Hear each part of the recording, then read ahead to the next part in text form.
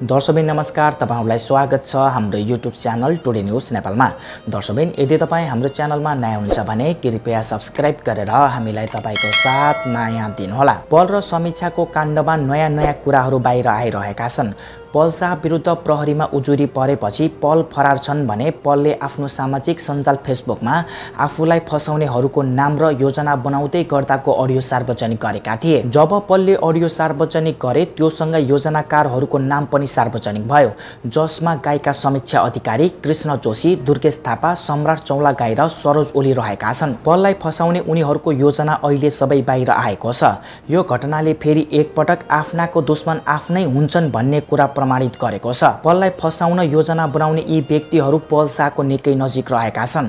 आफूलाई सानै उमेरदेखि पल शाहको फ्यान भन्ने समीक्षा अधिकारी आफ्नै म्यानेजर पल शाहले ठुल्दाई भन्ने गरेका सरोज ओली र पल शाहकै बहिनीले भाइटिका लगाएकी र पलको आफ्नै परिवारको एक सदस्य जस्तै भएर बसेका दुर्गेश थापा र अर्का एकजना व्यक्ति सम्राट चौलागाई रहेका छन्। पललाई यसरी योजना बनाएर फसाउनुको कारण पल प्रति दर्शकको माया विश्वास पल शाहको कमाइको पैसा र केही व्यक्तिगत रिसिभी देखिएको छ। पल शाहलाई जेल हाल्ने मात्र होइन मार्नेसम्मको योजना बनेको कुरा कृष्ण जोशीले मिडियामा आएर खुलाइसकेका छन् र यो मार्ने योजनाका मुख्य योजनाकार भने दुर्गेश थापा रहेका छन्। केही समय अगाडिसम्म हरेक ठाउँमा सँगै देखिने दुर्गेश थापाका केही भिडियोमा अभिनय गरेका पल पलको बहिनीले भाइटिका लगाएर दुर्गेशलाई आफ्नै दाई बनाएकी पल साकी आमाले आफ्नै छोरा मानेर विश्वास माया गरेकी पल र दुर्गेश जिग्री साथी जस्तो भएर हिँडेका यतिसम्म हुँदा नि आखिर किन दुर्गेशले पलमाथि यति ठुलो षड्यन्त्र रचेर फसाउने योजना बनाए र सुरुमा मारिदिनेसम्म योजना बनाए? आफ्नै परिवारको सदस्य जस्तो बनेका दुर्गेशले यो योजना बनाएर आफ्नै खुट्टामा बन्चरो हानेका छन्। दुर्गेश थापाले पल शाहलाई फसाउन र मार्न खोज्नुको केही भित्री कारणहरू रहेका छन्। जुन कारणहरू आज हामी तपाईँहरूलाई यो भिडियोमा भन्नेछौँ। पल एकदमै दर्शकले मन पराएका साथ दिएका र निकै व्यस्त नायक हुन्। उनको अहिले चलचित्र म यस्तो गीत गाउँछु दुई हलमा लागिरहेको छ। तर पल भने फरार छन् र प्रहरीले उनको खोजी तीव्र पारिरहेको छ। यति धेरै दर्शकको माया पाएका पललाई फसाउने योजना बनाउनेहरूको नाम सार्वजनिक भएपछि सबैले दुर्गेश थापा लगायत अरू योजनाकारहरूको फोटो भिडियोमा हार्दिक श्रद्धाञ्जली लेखिरहेका छन्। यति धेरै मिल्ने साथी दुर्गेश थापाले आखिर किन पलमाथि यत्रो षड्यन्त्र रचे यसको कारण धेरै छन्। कुनै कुनै मुख्य कारणहरू आज हामी तपाईँहरूलाई यो भिडियो मार्फत भन्नेछौँ। दुर्गेश थापा पल शाहको काम र कमाइदेखि निकै डाह गर्ने गरेका थिए। पललाई दर्शकले दिएको माया र साथ दुर्गेश थापालाई मन परेको थिएन। पल एकदमै काममा व्यस्त हुने व्यक्ति हुन्। जुन कारणले गर्दा पनि पल घर परिवार साथीहरूसँग धेरै मिल्न पाउँदैनथे। पलले दुर्गेशको गीतहरूमा पैसा नलिकी अभिनय गरिदिनु पर्ने दुर्गेशको माग थियो र दुर्गेशले यस्तो चाहेका थिए। त्यसै गरी दुर्गेशले भनेका कुराहरू पलले नमान्ने र आफूलाई राम्रो र सही लागेको काम गर्ने पलले गरेका थिए। दुर्गेश थापाले धेरै स्टेज कार्यक्रममा गएको पैसा समेत पल शाहलाई नदिएको कुरा बाहिर खुल्न आएको छ। पल शाह एकदमै सबैलाई माया गर्ने सम्झाउने व्यक्ति हुन्।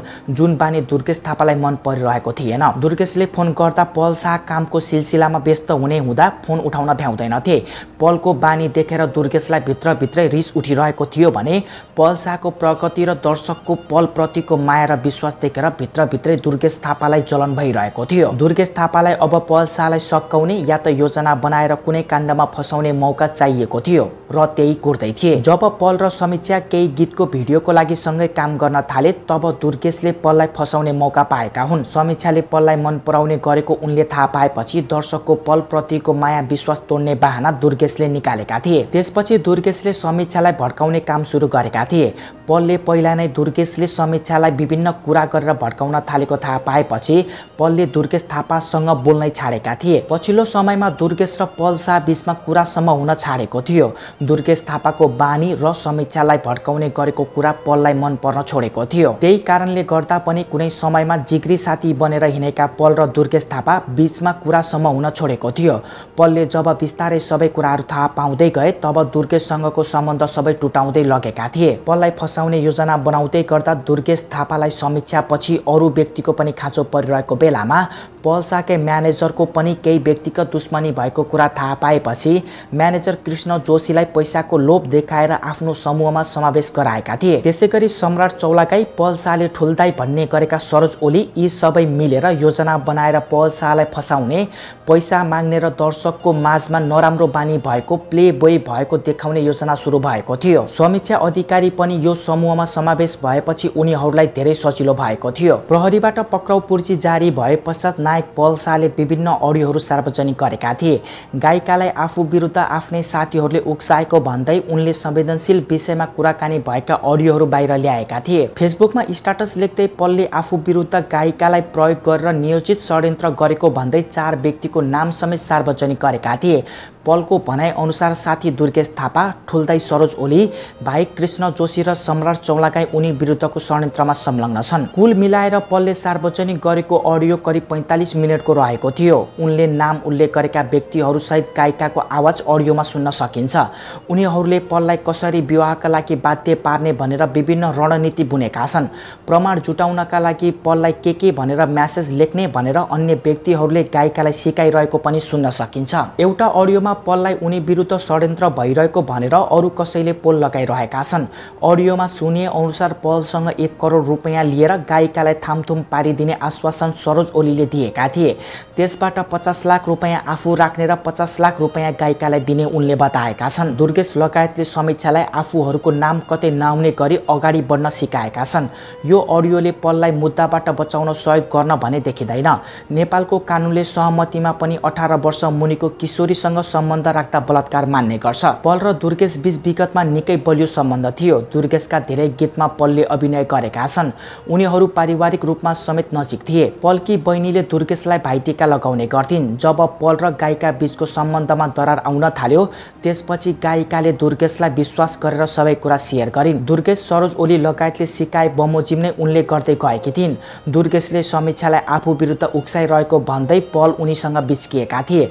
कुनै समय जिग्री दोस्तका रूपमा रहेका पल र दुर्गेश बीच पछिल्लो समय बोलचाल समेत भएको थिएन। यसपालिको भाइटिकामा पल्की बहिनीले दुर्गेशलाई टिका समेत लगाइनन् त्यसै गरी उनका गीत पनि सदा विवादमा रहिरहन्छन्। उनले समाजमा खलबल ल्याउने अश्लील किसिमका गीत भएको भन्दै आलोचना भइरहन्छ। त्यसै गरी उनका गीत पनि सदा विवादमा आइरहन्छन्। उनले समाजमा खलबल ल्याउने अश्लील किसिमका गीत गाएको भन्दै आलोचना भइरहन्छ।